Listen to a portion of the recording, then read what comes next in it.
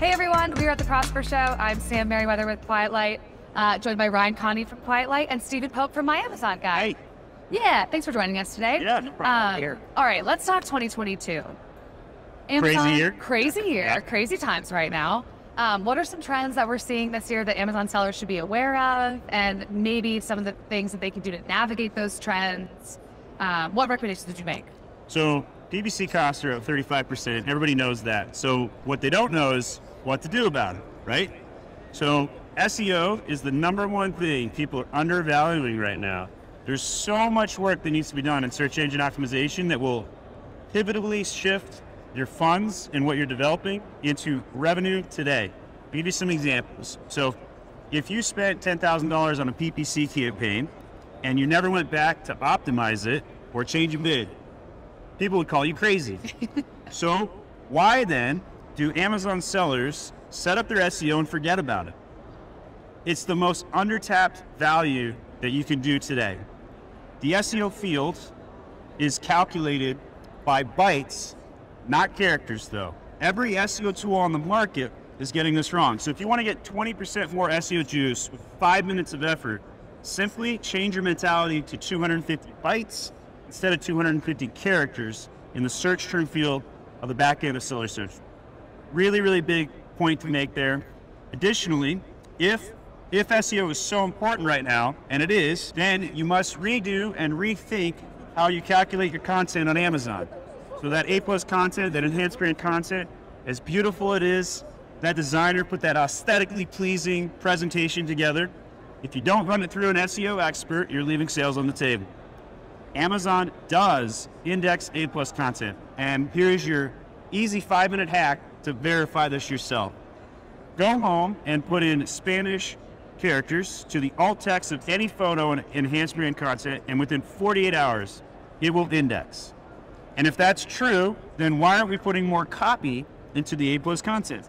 So I believe 500 words of copy need to go in the A plus content, and you do all this SEO work, and that's what's going to generate more traffic to your listing, and you can pull some of your PPC spend off, invest it in SEO, which will pay way longer dividends. Okay, so SEO, huge, uh, huge untapped area for 2022. It sounds like. I, I mean, most sellers just don't understand how you can gain value here, right? So, like, I'll, I'll tell people, I was like, hey, will you spend $5,000 investing in SEO? And they think you're crazy, right? Like, no, of course I wouldn't spend $5,000 in SEO. Okay, well, why are you wasting $5,000 on PPC when you could just take it from the PPC budget and put it in SEO, right? And that, guess what? It's not a sunk cost. It's going to develop for years.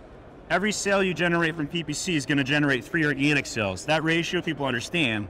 But what people don't understand is if you could take 10 keywords from position rank 20 through 50 in that strike zone element inside of Amazon and push them up to slot 1 through 10, that could generate more sales than $10,000 in PPC spent.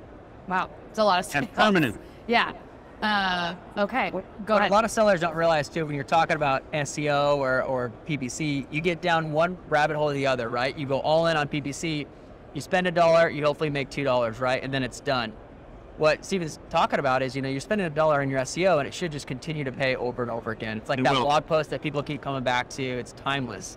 And that's what you're trying to build when you, when you focus on your SEO. Unfortunately, Amazon is a buyer's platform. They don't give a crap about the seller, right? and so because of that, sellers are, are wondering and they're wandering around, what do I do? Well, in my opinion, sellers need to focus on the basics. Stop going for those Amazon hacks. Don't try and gamify reviews. Don't do rebates. Keep it to the basics. What are the basics? Traffic generation in the form of SEO and PPC, and conversion improvements in the form of design, catalog management, which includes all the merchandising and all the catalog troubleshooting. You do those basics, you can succeed.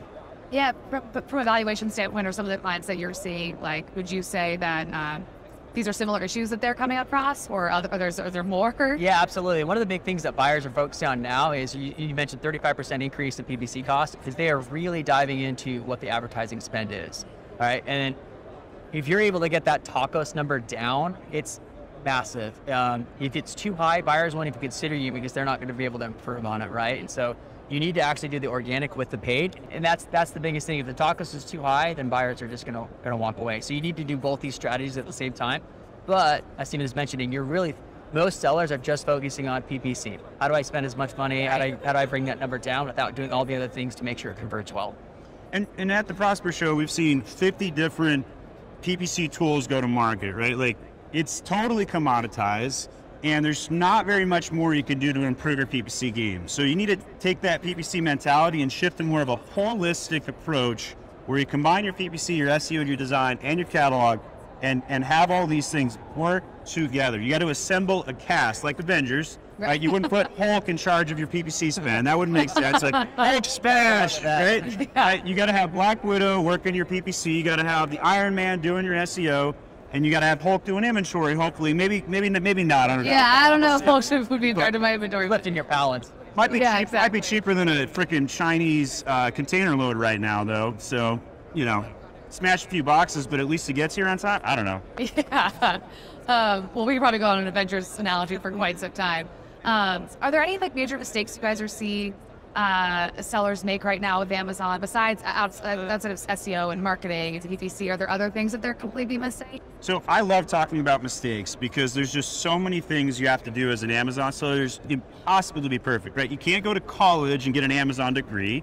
You can't learn these things unless you do these things. You got to pay your Amazon tax. So I pay my Amazon tax all the time.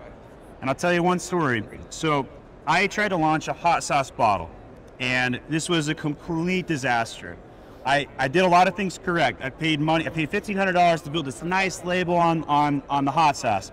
I was like, hey, I want to be the really cool truffle competitor, and I'm going to sell a fifteen dollar hot sauce, right? And I did all my competitor research. I found the keywords. Nobody had a sweet heat on Amazon. I was, I'm going to be first to market with a sweet heat. And then I, I, I was like, okay, I'm going to do a glass bottle. So this thing was four and a half pound glass bottle, sweet heat hot sauce.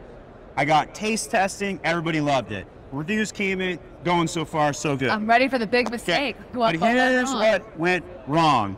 I paid Amazon to do my prep work. So of course, Amazon took my pallet of inventory in, started bubble wrapping all the boxes, except when they went to ship out the hot sauce after they bubble wrapped my bottles, you know what they did? They freaking shipped it in padded envelopes. And so all of my orders, 50 orders in the first 24 hours, 43 of them were damaged. And I got pictures back from pissed off customers, family and friends who were like super excited to help support the product launch, right? And picture after picture of hot sauce all over their living room, all over the packaging. And I was like, are you kidding me, Amazon? Why would you ship glass bottles that are five pounds in padded envelopes? Any other mistakes that you? I, I would say it's similar to the inventory side is when you have sellers that run out of inventory. Right now, there's so many supply chain issues, shipping issues.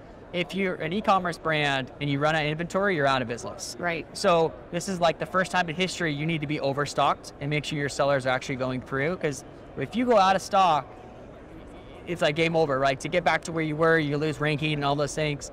Um, that would be probably the number one thing that I see. And so whether you- you're using software or whether you're over planning or what you're trying to do, most people are under planning for the amount of inventory that they'll need. So, you know, they're trying to wait for containers to go down in price. You're more likely to run out of stock in a lot Got to got to bet long. Gonna Yeah. have a gotta have a 3PL where you store your stuff. You're gonna need a year's supply of inventory right now. I think the concept of just-in-time supply chain management is dead, and it's Over. never ah, coming back. It's gone. And and the postmortem on that is you can't ship all your stuff directly from China into FBA. You need your own 3PL, your own warehouse. The more vertical control you get, the better off you're going to be long term. That means American made, high quality, and local control mechanisms. And Yeah. if you do those things, you're going to be here in five years. If you don't, the geopolitics could destroy your business overnight. Yeah, and I can imagine buyers are going to be more excited about folks who don't have inventory issues, right? Seems a little obvious. Yeah. Well, Yeah. Most buyers don't want to buy businesses without any inventory. Yeah. Because they're not in business. makes sense. Yeah. Quietly with the hard hitting facts, you know. Um, well, if there's any, any other final points you guys want to make, otherwise, thank you so much for joining. I really appreciate it. And we'll catch you guys next time. Sounds good. Thanks, Sam.